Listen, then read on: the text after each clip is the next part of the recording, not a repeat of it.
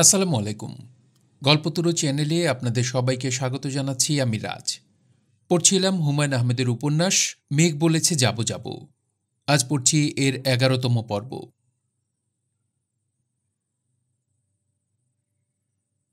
তারেক মাগরেবের নামাজ শেষ করে বারান্দায় এসে বলল, লায়লা, আমাকে চা দে। চা তৈরি ছিল। লায়লা চায়ের কাপ এনে সামনে রাখল। তারেক চায়ে চুমুক দিতে দিতে বলল তোর অবস্থা কি? লায়লা বিস্মিত গলায় বলল, আমার আবার কি অবস্থা? পড়াশোনার অবস্থা। পড়াশোনার অবস্থা খুবই খারাপ। এবার পরীক্ষা দিলে পাশ করতে পারব না। তাহলে এবছর ড্রপ দিয়ে পরের বছর দে। ভাই আর কিছু বলবে? না, সিগারেটের প্যাকেট আর দেয়াশলাই এনে দে। লাইলা সিগারেটের প্যাকেট এবং দেয়াশলাই এনে দিল। তারেক বলল, টগর আর পলাশকে বই নিয়ে বসতে বল। আমি পড়া দেখিয়ে দেব। তারেক চুপচুপ করে চায়ে চুমুক দিচ্ছে। নামাজের সময় সে মাথায় টুপি পরেছিল। সেই টুপি এখনও খোলা হয়নি।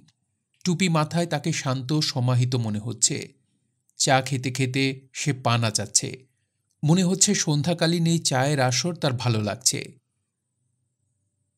এক মাসের ওপর হলো রিনা নেই। তার অনুপস্থিতিতে বড় ধরনের যে সমস্যা আশঙ্কা করা গিয়েছিল, এখন মনে হচ্ছে সে আশঙ্কা অমূলক। সে না থাকায় বরং কিছু সুবিধা হয়েছে। তারেক ঘুমাচ্ছে একা। বেশ হাত পা ছড়িয়ে ঘুমাতে পারছে। রাতে বিছানায় শুয়ে শুয়ে সিগারেট খেতে পারছে। কথা বলার কেউ নেই। টুথপেস্টের মুখ লাগানো হয়নি। ব্রাশটা বেসিনে পড়ে আছে কেন, এই নিয়েও বলার কেউ নেই। রিনা মশারি না খাটিয়ে ঘুমাতে পারত না। তারেকের কাছে মশারি ছিল অসহনীয় যন্ত্রণা। এখন মশারি খাটাতে হচ্ছে না।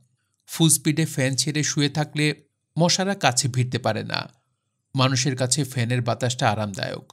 মশাদের কাছে সেই বাতাস হলো টর্নেডো।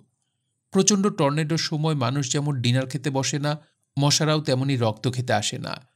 এই সহজ সত্য সে রিনাকে বোঝানোর অনেক চেষ্টা করেছে। রিনা বুঝতে চায়নি। এখন আর বোঝাবুঝির কিছু নেই। মোনারা ছেলের ওপর রাগ করে চলে গেছেন। এটা একটা দুঃখের ব্যাপার হয়েছে। তারেক তার মাকে খুবই পছন্দ করে। মার সঙ্গে মাঝে মধ্যে কথা না বললে তার দমবন্ধ লাগে। মা না থাকার একটা ভালো দিকও আছে। মার ঘরটাকে তারেক বর্তমানে নামাজ ঘর করে ফেলেছে। পাঁচ অক্তের জায়গায় এখন শুধু দু অক্ত করে নামাজ পড়া হচ্ছে। শুরু হিসেবে এটা খারাপ না। রিনার অভাব লাইলা অনেকটাই পূরণ করেছে। রান্নাবান্নার ব্যাপারটা দেখছে। টগর পলাশকে স্কুলে নিয়ে যাওয়া এবং নিয়ে আসার কাজও করছে। কলেজে যাচ্ছে খুব কম। মনে হয় এবছর বিয়ে পরীক্ষা সে ড্রপই করবে। সংসারের জন্য এটা ভালো। বিয়ে পরীক্ষার চেয়ে সংসার অনেক বড়। টগর পলাশের ব্যাপারটা পরিষ্কার বোঝা যাচ্ছে না। মা নেই কেন? কবে আসবে? এ জাতীয় কথা তারা তারেককে এখনও জিজ্ঞেস করেনি। তবে লায়লাকে এবং হাসানকে নিশ্চয়ই জিজ্ঞেস করছে। তারা কি জবাব দিচ্ছে কে জানে? সময় এবং সুযোগ মতো একবার জিজ্ঞেস করতে হবে। অবশ্যই জিজ্ঞেস না করলেও হয়। এরা ঝামেলা করছে না, এটাই বড় কথা। এমন কি হতে পারে? মা ঘরে না থাকায় তারা আনন্দিত। হতে পারে, খাওয়া নিয়ে তাদের বকাঝকা কেউ করছে না চট থাপ্পড় মারছে না, দেয়ালে ছবি আঁকছে, কেউ কিছু বলছে না, প্রায় স্কুল কামাই করছে, মা থাকলে সেই উপায় ছিল না, স্কুলে যেতেই হতো। তারেকের আজকাল প্রায় মনে হয় মানুষের সংসার না থাকাই ভালো, আর থাকলেও সে সংসার হবে সাময়িক ধরনের সংসার, সেই সংসারে স্ত্রী, পুত্র, কন্যা সবই থাকবে। মাঝে মাঝে সেখানে বেড়াতে যাওয়া, কয়েকদিন থেকে চলে আসা। সব পুরুষরা থাকবে হোটেলে। সবার জন্য আলাদা আলাদা ঘর। ঘরে অ্যাটাচড বাথ থাকবে টিভি থাকবে। খাবারের সময় হোটেল থেকে খাবার দিয়ে যাবে। ছেলের জন্মদিন ম্যারেজ অ্যানিভার্সারি এইসব উৎসবে সংসারে ফিরে যাওয়া, আবার ফিরে আসা। রিনা চলে যাবার পর লাবণীর সঙ্গে তারেকের আর তেমন যোগাযোগ হয়নি। লাবণী একটা চিঠি লিখেছিল। কেমন আছেন? ভালো আছেন টাইপ চিঠি। চিঠির জবাব দেয়া হয়নি। তারেক রোজই একবার ভাবে চিঠির জবাব দেবে। শেষে আর দেয়া হয় না। রাতে ঘুম পেয়ে যায়। ইদানিং তার ঘুমও খুব বেড়েছে। ভাত খাবার পর থেকে হাই উঠতে থাকে। দুই পুত্রকে নিয়ে তারেক পড়াতে বসল। বাচ্চা দুটি বিচ্ছু হয়েছে। যমজ বাচ্চারা বিচ্ছু ধরনের হয়। এটি সনাতন সিদ্ধ ব্যাপার।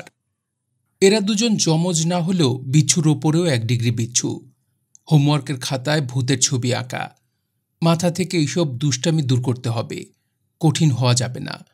কাঠিন্য যে কোনো সমস্যার বড় বাধা। কেমন আছিস রে টগর? গুড আছি বাবা। পড়াশোনা কেমন হচ্ছে? গুড হচ্ছে। কথায় কথায় গুড বলছিস কেন? মিস বলেছে বাসায় সবসময় ইংরেজি বলতে হবে।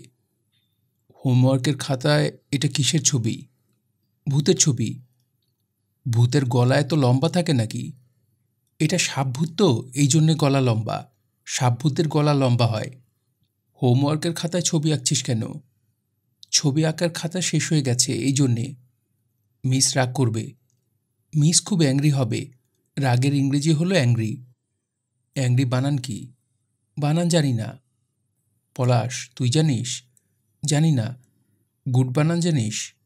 জানি, কিন্তু বলব না। বলবি না কেন? তুমি তো আমাদের মিস না। মিস বানান জিজ্ঞেস করলে বলতে হয়।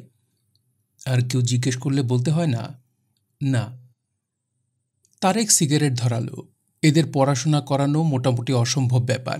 একজন টিচার রেখে দিতে হবে। বাড়তি খরচ। তাতে অসুবিধা হবে না। সংসারে মানুষ কমে গেছে। লাইলার বিয়ে হলে আরও কমবে। তার বেতনও কিছু বাড়বে। খুব শিগগিরই প্রমোশন হবার কথা।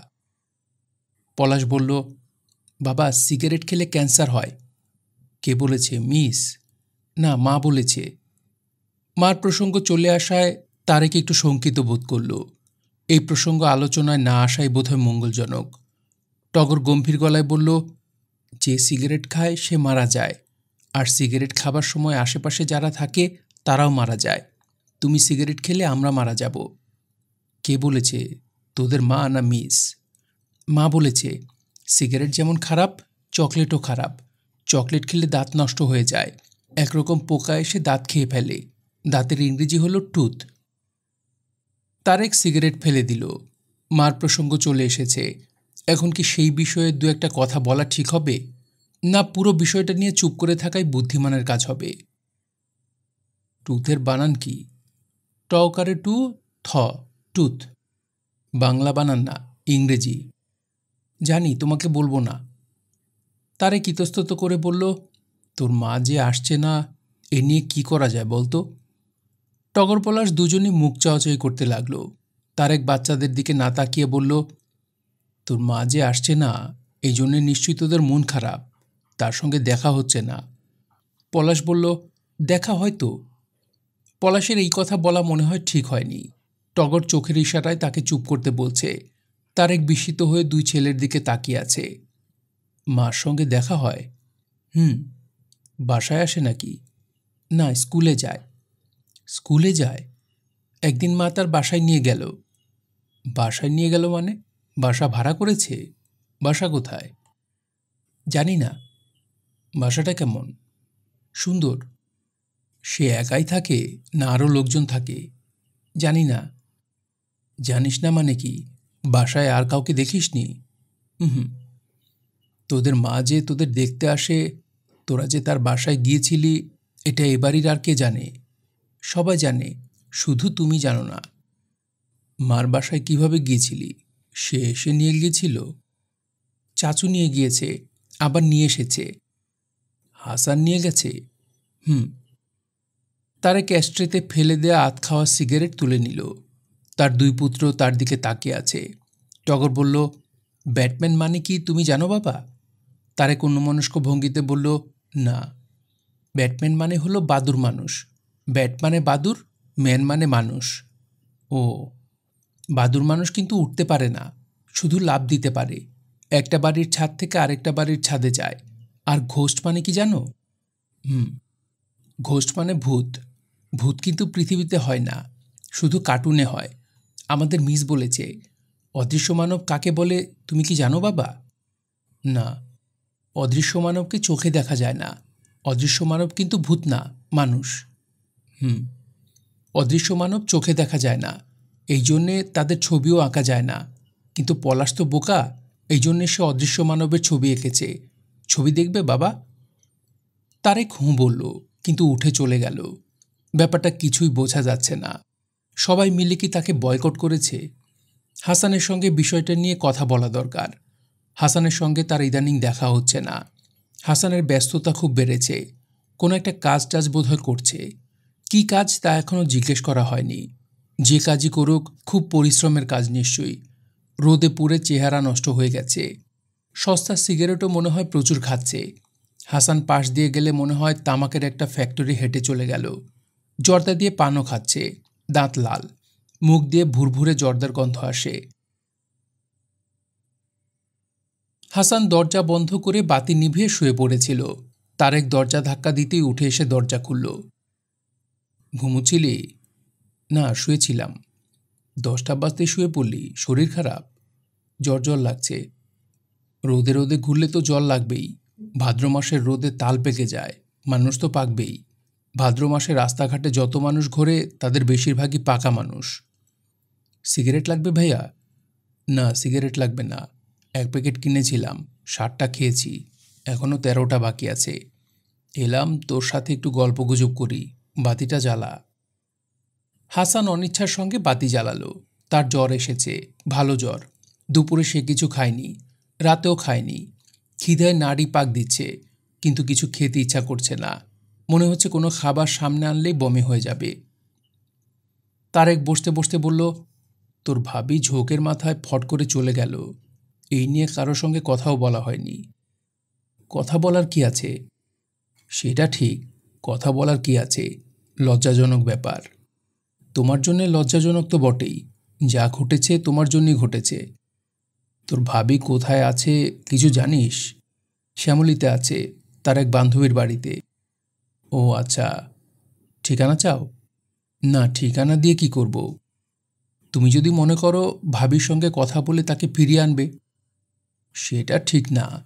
ব্যক্তি স্বাধীনতায় হস্তক্ষেপ করা কোনো কাজের কথা না। আমি তাকে চলে যেতে বলিনি, সে চলে গেছে। আমি যদি তাকে চলে যেতে বলতাম, তাহলে তাকে ফিরিয়ে আনার দায়িত্ব আমার ছিল। যদি আসার হয়, নিজেই আসবে। হাসান হাই তুলতে তুলতে বলল, ভাবি, কঠিন জিনিস। নিজ থেকে আসবে না। না এলে কি আর করা? বাচ্চাদের খানিক সমস্যা হবে, এই আর কি। সমস্যা তো পৃথিবীতে থাকেই, সমস্যা নিয়ে আমাদের বাস করতে হয়। তুমি কি তোমার অফিসের ওই মহিলাকে বিয়ে করবে? বিয়ের কথা আসছে কেন? বিয়ে হচ্ছে না? তারেক সেই প্রশ্নের জবাব না দিয়ে সহজ গলায় বলল, টগরের কাছে শুনলাম ওদের মার সঙ্গে দেখা হয়, এটা ভালো। আর্লি স্টেজে মার ভালোবাসা দরকার। মায়ের ভালোবাসা ভিটামিনের মতো কাজ করে। যাক, সময় অসময়ে ভিটামিনটা পাচ্ছে। হুম, ও কি চাকরি বাকরি কিছু করছে? জানি না, হয়তো করছে। চাকরির বাজার খুবই টাইট, তবে মেয়েদের স্কোপ বেশি। বলিস ভালো মতো যোগাযোগ করতে। পত্রিকা দেখে অ্যাপ্লিকেশন করলে হবে না, সরাসরি উপস্থিত হতে হবে। ভাই, আমার মাথা ধরেছে, কথা বলতে ভালো লাগছে না। দে একটা সিগারেট খাই সিগারেটটা শেষ করে চলে যাব। নিজের ঘরে গিয়ে খাও। তোর এখানে খেয়ে যাই ভাইয়া, তুমি কি ভাবিকে টেলিফোন করতে চাও? ভাবি যে বাড়িতে থাকে, সেখানকার টেলিফোন নাম্বার আমার কাছে আছে। টেলিফোন করে কি করব। কি করবে তা জানি না।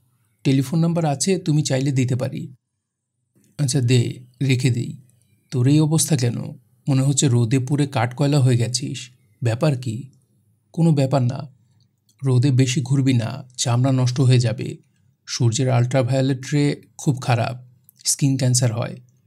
হুম, ভাই, এই নাও ভাবির টেলিফোন এখন চলে যাও, আমার প্রচণ্ড মাথা ধরা, কথা বলতে ভালো লাগছে না।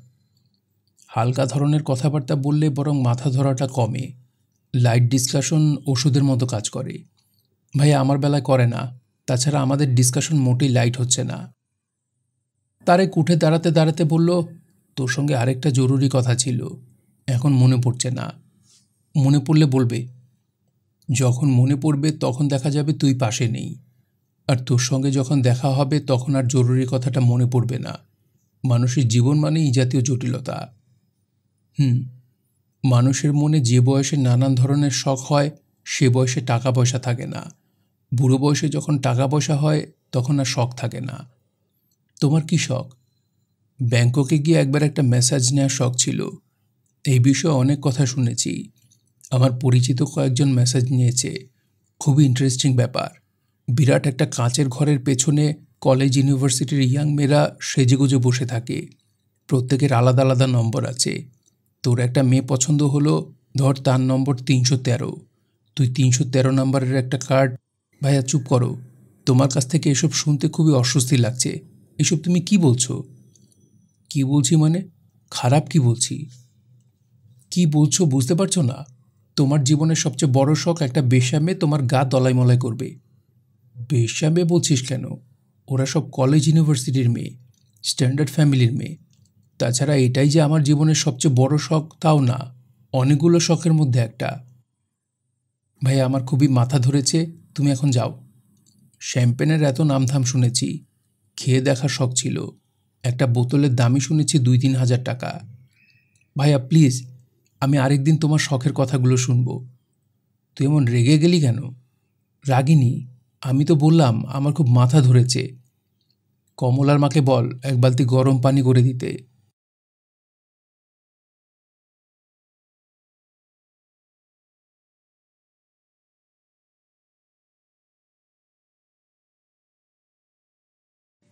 তারেক নিজের ঘরে ঢুকল। হাসানকে যে জরুরি কথাটা বলার ছিল, সেই কথা তখনই মনে পড়ল। তাকে গিয়ে সেই কথাটা বলা ঠিক হবে কি না বুঝতে পারছে না। অকারণে সে যেমন রেগে আছে, দরজায় ধাক্কা দিলে সে হয়তো দরজাই খুলবে না। কথাটা হচ্ছে, তার অফিসে একটা মেয়ে টেলিফোন করেছে। মেয়েটার নাম চিত্রলেখা। সে হাসানকে খুঁজছে। খুব নাকি জরুরি? একবার না, মেয়েটা টেলিফোন করেছে দুবার। ঘুমোতে যাবার আগে তারেক একটা কাগজে বড় বড় করে লিখল, চিত্রলেখা। সকালবেলা এই কাগজটা দেখলে তার মনে পড়বে, হাসানকে খবরটা দেয়া যাবে। সবচেয়ে ভালো হতো এখন দিতে পারলে। রিনাকে টেলিফোন করার কোনো ইচ্ছাই তারেকের ছিল না। অফিসে এসে রুমাল বের করার জন্য পকেটে হাত দিয়ে দেখে রিনার টেলিফোন নাম্বার লেখা কাগজ। টেলিফোন করলে কে ধরবে? রিনার বান্ধবী? নাকি রিনাই ধরবে? তারেক টেলিফোন করবে কি করবে না বুঝতে পারছে না।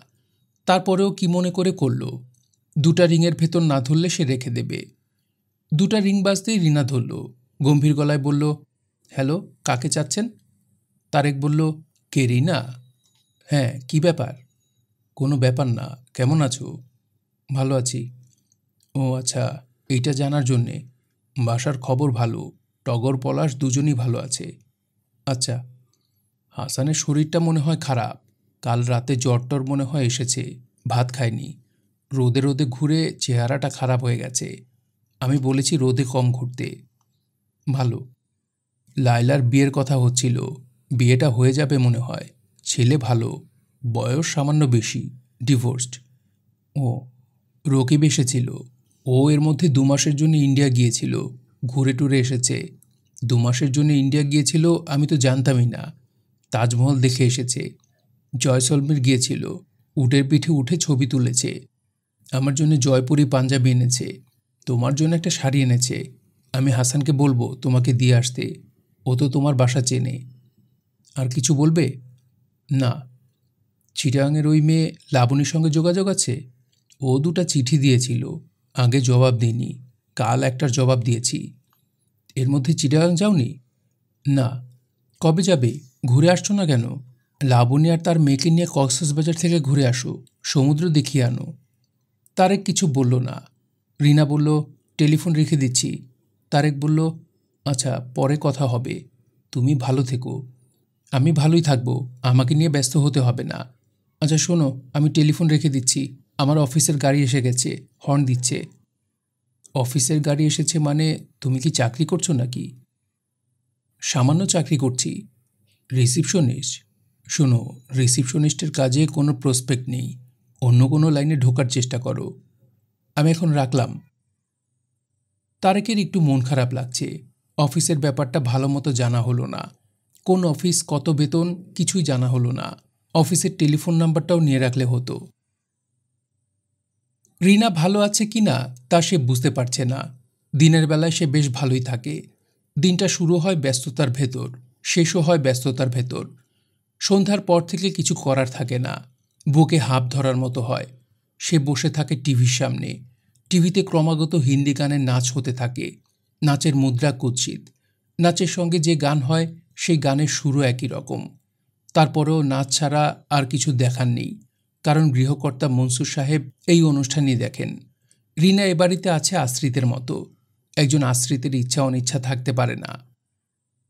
শ্যামলী রিং রোডের এই বাড়ি রিনার বান্ধবী আফরোজার। আফরোজা রিনার সঙ্গে একসঙ্গে স্কুলে পড়েছে। পাশ করার পর আর কোনো যোগাযোগ ছিল না।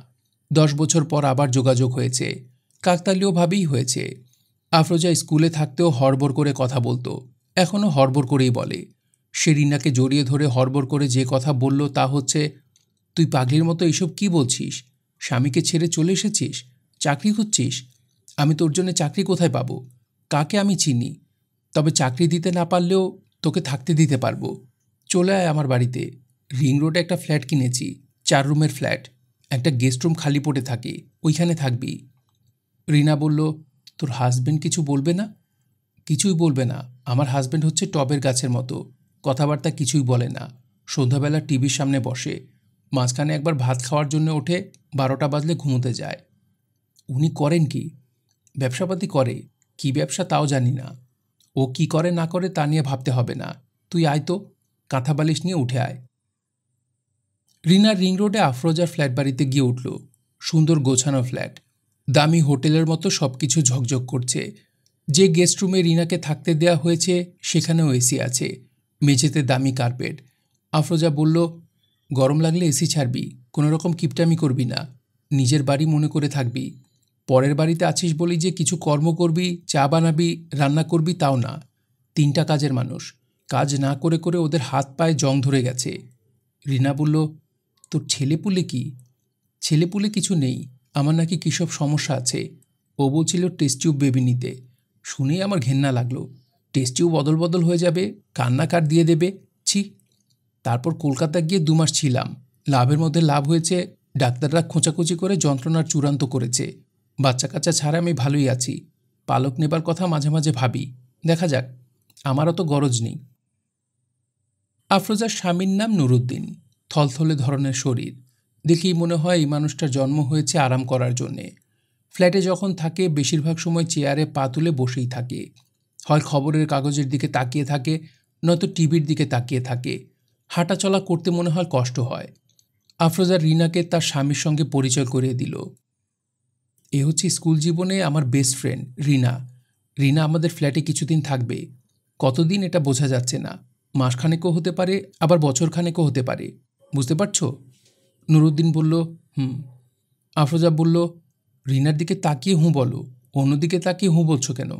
আরেকটা কথা শোনো, তুমি তোমার পরিচিত সবাইকে বলে দেবে রিনার জন্য একটা চাকরি খোঁজ করতে।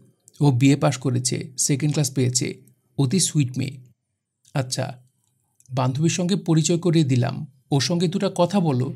ভদ্রতাও তোমাকে শিখিয়ে দিতে হবে। বেচারি মনে করবে কি? নুরুদ্দিন রিনার দিকে তাকিয়ে বলল, ভাবি দাঁড়িয়ে আছেন কেন? বসুন। আফরোজা বিরক্ত গলায় বলল, ভাবি ডাকছো কেন? তুমি নাম ধরে ডাকবে। বয়সে তুমি আমার দশ বছরের বড়। রিনার চেয়েও দশ বছরের বড়। নাম ধরে ডাকবে, কোনো অসুবিধা নেই। আচ্ছা ওর নাম কি জানো? না, ওর নাম রিনা। ও আচ্ছা রিনা, তুমি রিনার জন্য একটা চাকরি জোগাড় করে দেবে। আচ্ছা। রিনা লক্ষ্য করল মানুষটা আসলে টবের গাছের মতো। ফ্ল্যাটে যখন থাকে, বসে বসেই সময় কাটিয়ে দেয়। নিজে কথা বলে না। অন্যের কথা শোনার আগ্রহ তার নেই। মাঝে মাঝে রিনার মনে হয়, আফরোজা যে তাকে ফ্ল্যাট বাড়িতে এনে তুলেছে, সে তার নিজের গরজে এনে তুলেছে। আফরোজার কথা বলার মানুষ দরকার। মুখ সেলাই করে দুজন মানুষ দিনের পর দিন পাশাপাশি বাস করতে পারে না। রিনার মাঝে মাঝেই মনে হয় সংসারে ছেলে পুলে থাকাটা যে কত দরকার, তা মানুষকে চোখে আঙুল দিয়ে বোঝানোর জন্যে আল্লাহ সংসারটা তৈরি করেছেন। তবে কথা না বললেও রিনার নুরুদ্দিনকে পছন্দ হয়েছে।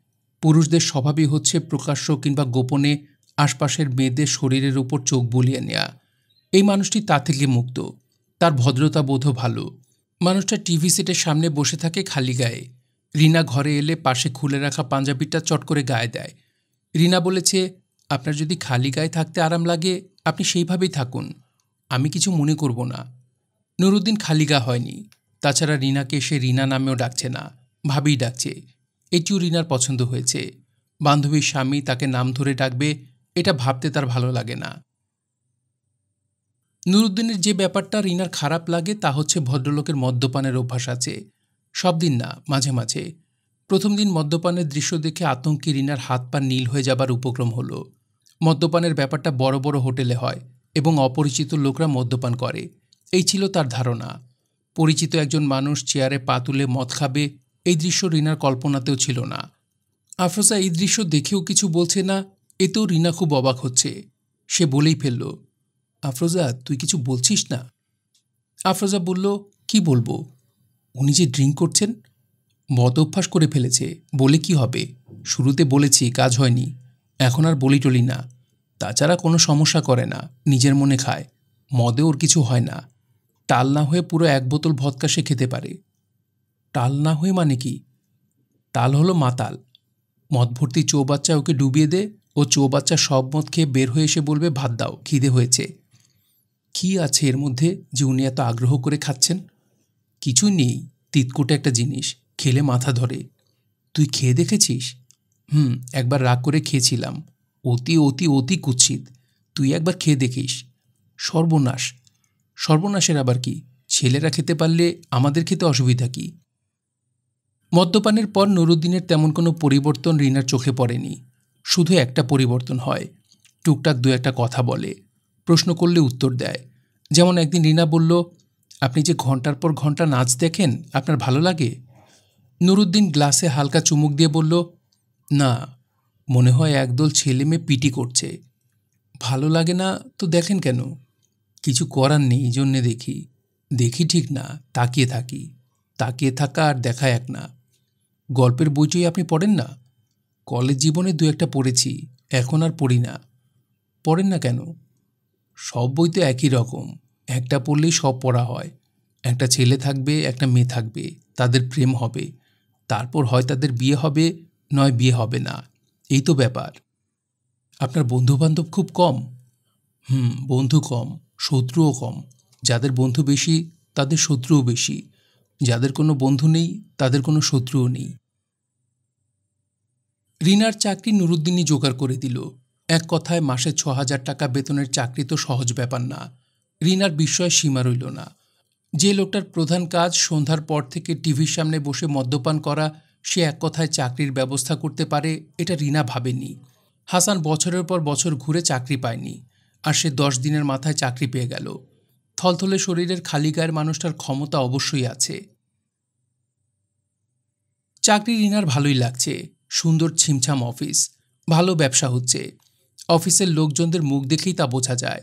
সবার ভেতরই ব্যস্ততা। রিনার বসকেও তার পছন্দ হয়েছে। স্মার্ট মানুষ। পঞ্চাশের কাছাকাছি বয়স। টকটকে লাল গেঞ্জি গায়ে দিয়ে একদিন অফিসে এসেছিলেন। তাকে পঁচিশ ছাব্বিশ বছর বয়সী যুবকের মতো লাগছিল।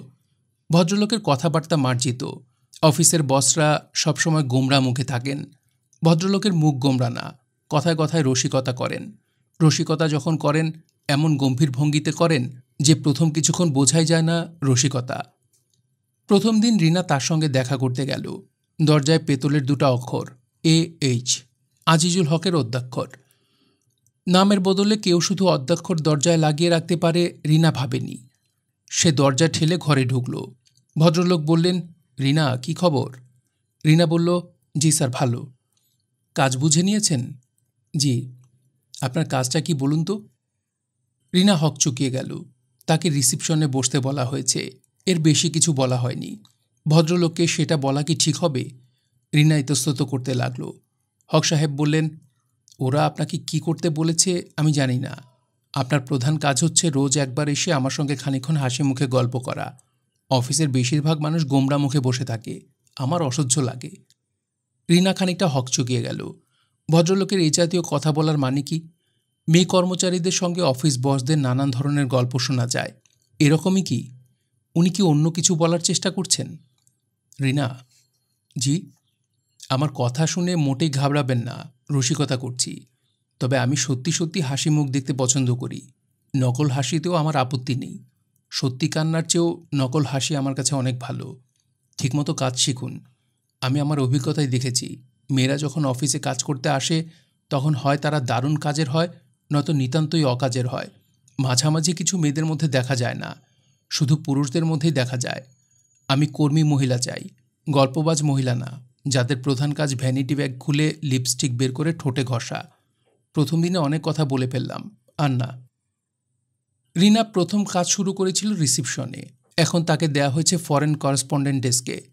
যে বুড়ো ভদ্রলোকের কাছে তাকে কাজ শিখতে হচ্ছে, তিনি খিটখিটে এবং বদমেজাজি। কথায় কথায় তিনি রিনাকে ধমক দেন, তবে প্রায় প্রতিদিনই বলেন, তোমার মাথা পরিষ্কার। অন্যরা যে কাজ এক বছরে শিখেছে, তুমি তা শিখেছ এক মাসে। এই জাতীয় কথা শুনতে আনন্দ লাগে। বুড়ো ভদ্রলোক রিনাকে শুধু যে আনন্দ দেবার জন্য এই কথাগুলো বলছেন, তা যে না, রিনা নিজেও তা বুঝতে পারে। কাজ করতে তার ভালো লাগে। হক সাহেব তাকে ডেকে নিয়ে একদিন বললেন, আপনার কাজের খুব সুনাম শুনি। আপনি স্পোকেন ইংরেজি কেমন জানেন? রিনা বলল, ভালো জানি না, স্যার।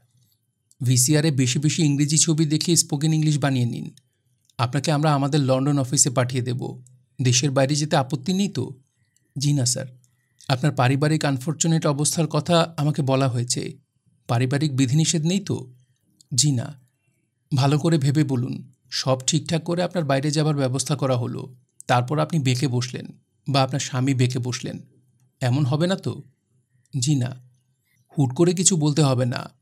আপনি সপ্তাহখানিক ভাবুন, তারপর বলুন। রিনা এক সপ্তাহ ভেবেছে, কখনো তার কাছে মনে হয়েছে, না, সম্ভব না। দেশে সে আছে বলে অন্তত সপ্তাহে একবার সে টগর পলাশকে দেখতে পারছে। আবার কখনো মনে হয়েছে, সব ছেড়ে ছুড়ে দূরে চলে যেতে। একবার মনে হলো তারেক যদি শুনে সে লন্ডন চলে যাচ্ছে, তাহলে সে কি বলবে? টেলিফোনে আলাপ করবে, না সরাসরি তার অফিসে চলে যাবে? অফিসে যাওয়াটা কি ঠিক হবে?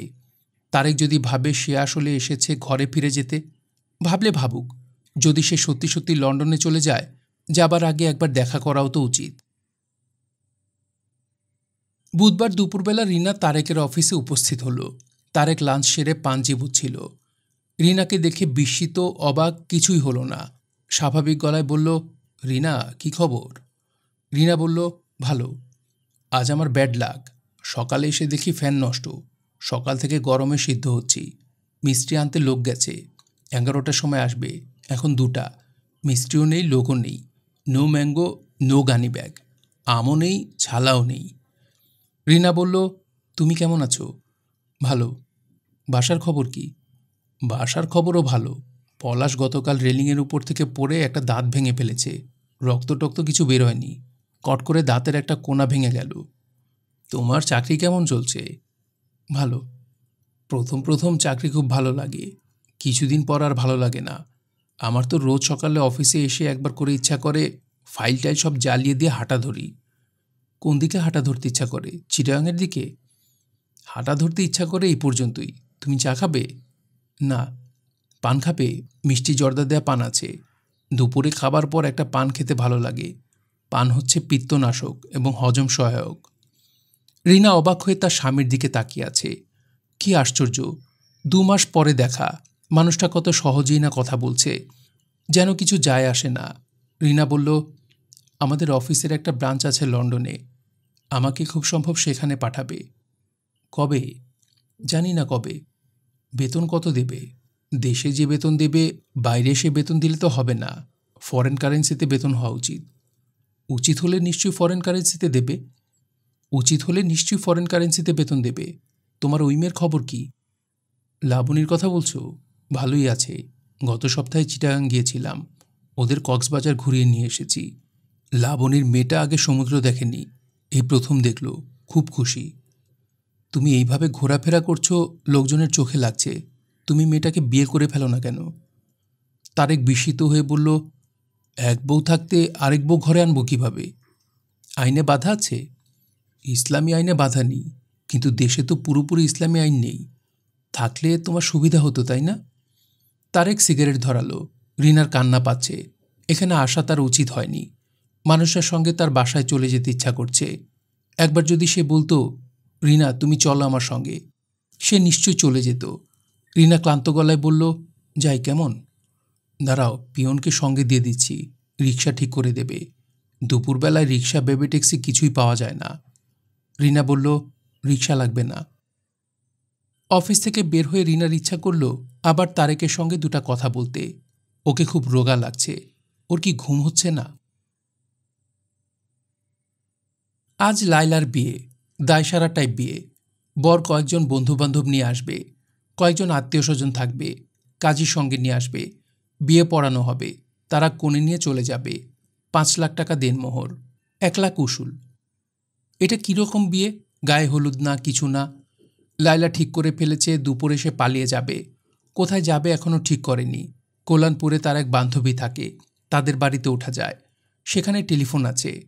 টেলিফোনে অন্যদের সঙ্গে যোগাযোগ করা যাবে। বিয়ের দিনটা অন্যরকম থাকে। অথচ তার বিয়ের দিন অন্য দিনগুলির চেয়ে মোটেও আলাদা না। সব কিছু আগের মতো। শুধু টগর পলাশ স্কুলে যাচ্ছে না। তারা বারান্দায় মহা উৎসাহে ফুটবল খেলছে। তার তারেকও অফিসে যায়নি। সে বারান্দার বেতের চেয়ারে বসে ছেলেদের খেলা দেখছে। তারেক বলল, লায়লা, আমাকে চা দে। লায়লা চা বানাতে গেল। কমলার মা বলল, বিয়ার দিন চুলার ধারে নাফা, ঘরে গিয়া টাইট হয়ে বয়ে থাকেন। চা আমি বানাইতেছি। লায়লা তাকে ধমক দিয়েছে। বেশি কথা বলবে না কমলার মা, এত কথা আমার ভালো লাগে না। চা বানাতে গিয়ে লায়লার চোখে পানি এসে গেল। তার কত শখ ছিল, অল্প বয়সী, লম্বা, পাতলা, সুন্দর একটা ছেলের সঙ্গে বিয়ে হবে, যার সঙ্গে সে নানান ধরনের আহ্লাদি করবে। আহ্লাদি করতে তার খুব ভালো লাগে।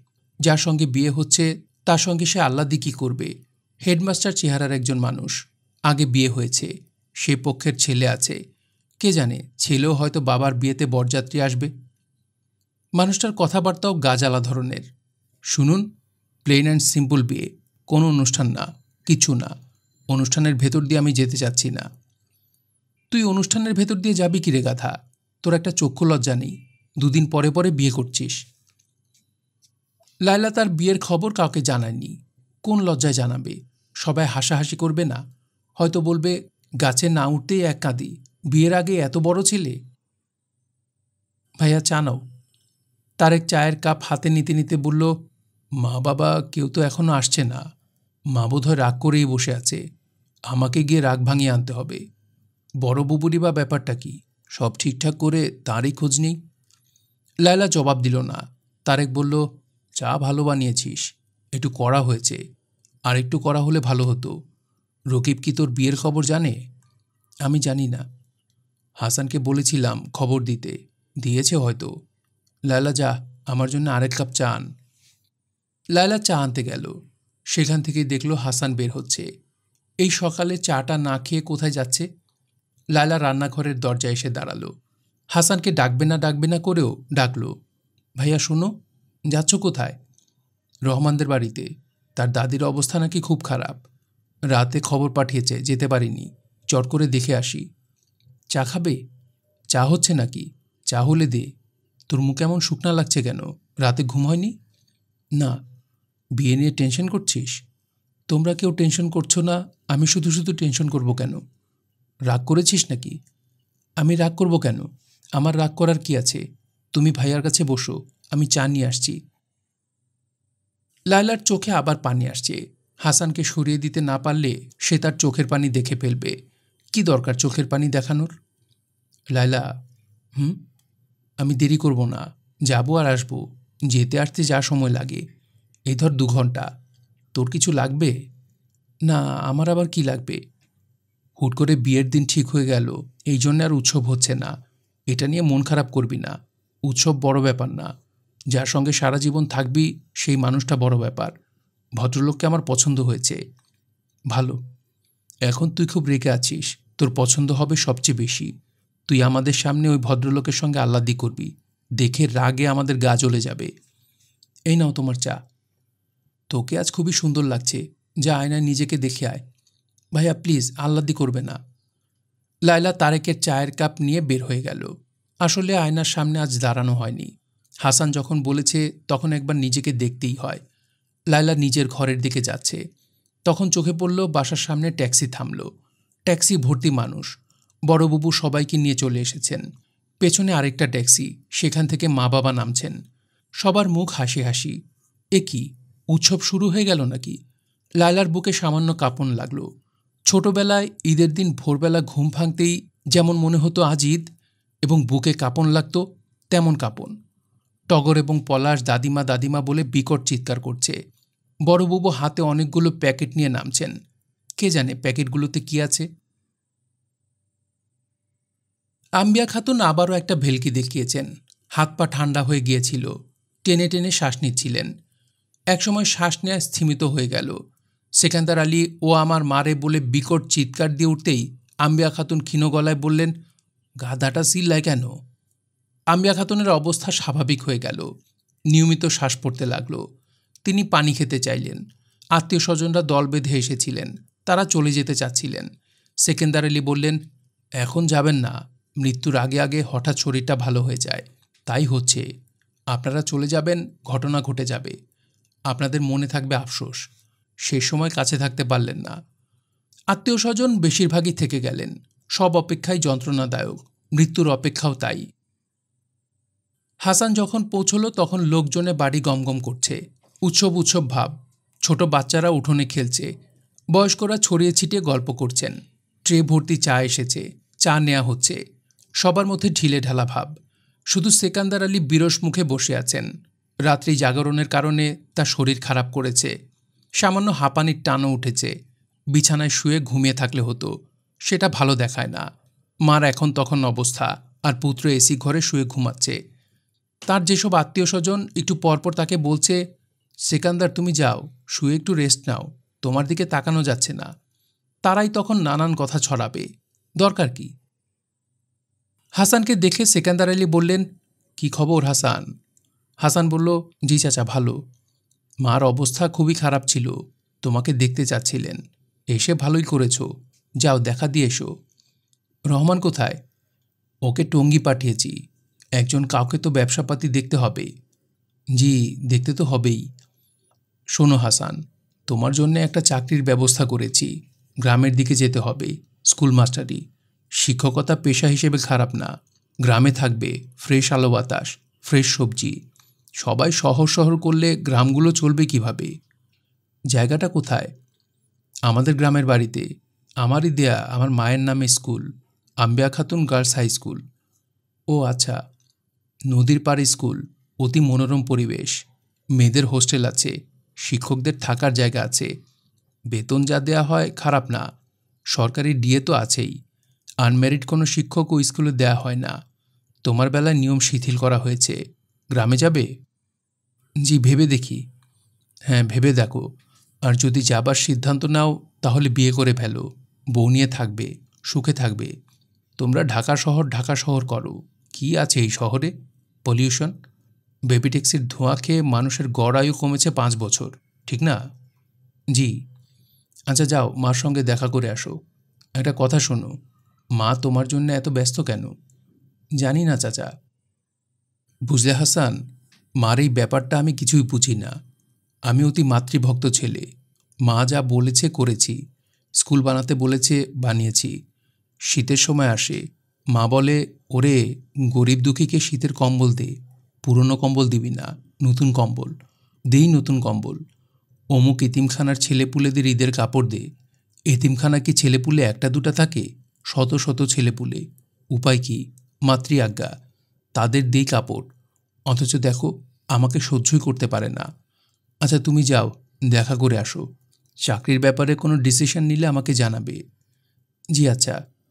হাসান ভেতরের দিকে রওনা হলো। আম্বিয়া খাতুনকে আতশোয়া করে বসানো হয়েছে। অল্প বয়সী একটা মেয়ে চামচে করে তাকে স্যুপ খাইয়ে দিচ্ছে। মেয়েটি তাকে দেখে খুবই বিরক্ত মুখে তাকালো। আম্বিয়া খাতুন বললেন, কিরে হাসান তোর সময় হলো শেষ পর্যন্ত। কেমন আছেন দাদিমা? ভালো আছি। দেখছিস না, স্যুপ খাচ্ছি। তোর চাকরি বাকরি কিছু হয়েছে? জি না। যার যা ক্ষমতা আল্লাপাক তাকে তাই দেন। যার ক্ষমতা চোর হবার, তাকে তিনি চোর বানান। যার কিছুই করার ক্ষমতা নেই, তাকে কিছুই বানান না। সে তোর মতো পথে পথে ঘোরে, বুঝেছিস? জি। সেকান্দারকে বলেছি তোর চাকরির জন্যে। দাদিমা, আমার চাকরির জন্য আপনি ব্যস্ত হবেন না। ব্যস্ত তোকে কে বলেছে? তোর চাকরি হলেই কি আর না হলেই কি? যা আমার সামনে থেকে। যাওয়ার আগে সেকান্দারের সঙ্গে দেখা করে যাবি। জি আচ্ছা। তোকে স্কুলের চাকরি গছিয়ে দিতে চাইবে। খবরদার নিবি না। কোনো মতো একটা চালাঘর তুলে দিয়েছে। না আছে ছাত্র, না আছে কিছু। মাস্টাররা বেতন পায় না। বুঝেছিস? জি। বিয়ে টিয়ে করবি না? হাসান চুপ করে রইল। না করাই ভালো। বউ তো আর তোর মতো বাতাস খেয়ে থাকবে না। তোকে না চলে যেতে বললাম। দাঁড়িয়ে আছিস কেন? আজকাল কি কানেও শুনতে পাস না? যে মেয়েটি স্যুপ খাওয়াচ্ছিল সে শুকনো গলায় বলল, আপনি এখন যান। ওনাকে আর বিরক্ত করবেন না। স্যুপ খাওয়ানোর চেষ্টা করছি। হাসান বের হয়ে এলো। এই বৃদ্ধার স্নেহের কোনো কারণ সে জানে না। কোনোদিন জানবেও না। ঘর থেকে বের হবার সময় হঠাৎ তার মনে হলো, এই বৃদ্ধার সঙ্গে তার আর দেখা হবে না। এরকম মনে হবার কোনো কারণ নেই। তবু মনে হলো, গুরুতর অসুস্থ যে কোনো মানুষের কাছ থেকে বিদায় নেবার সময় এরকম অনুভূতি হয়, যার আসলে তেমন গুরুত্ব নেই। সেকান্দার সাহেব বললেন, হাসান, চলে যাচ্ছ নাকি? জি। মা কি বলল? তেমন কিছু বলেননি। আচ্ছা ঠিক আছে। স্কুলের ব্যাপারে কোনো ডিসিশন নিলে জানাবে। স্কুলের চাকরি খারাপ না, স্যাটিসফ্যাকশন আছে। একটা ভালো কাজ করছ, তার স্যাটিসফ্যাকশন। জি। সন্ধ্যার দিকে সময় পেলে একবার এসো। মার জন্যে খতমে শেফা পড়াচ্ছি। বাদ মাগরেব দোয়া হবে। বাসায় একটা কাজ আছে, চাচা। কাজ থাকলে আসার দরকার নেই। সেকেন্দার আলী বিমর্ষ মুখে সিগারেট ধরালেন। সিগারেটে তিনি কোনো স্বাদ পাচ্ছেন না। শুনছিলেন হুমায়ুন আহমেদের উপন্যাস, মেঘ বলেছে, যাব যাব। পড়ছিলাম এর এগারোতম পর্ব। উপন্যাসটি আপনাদের কাছে ভালো লেগে থাকলে একটি লাইক করবেন, চাইলে শেয়ার করে অন্যকে শোনার সুযোগ করে দিতে পারেন, আর অবশ্যই কমেন্ট করে জানাবেন আপনাদের মতামতগুলো। সবাই ভালো থাকবেন, সুস্থ থাকবেন এবং গল্পতরুর সঙ্গেই থাকবেন। ধন্যবাদ।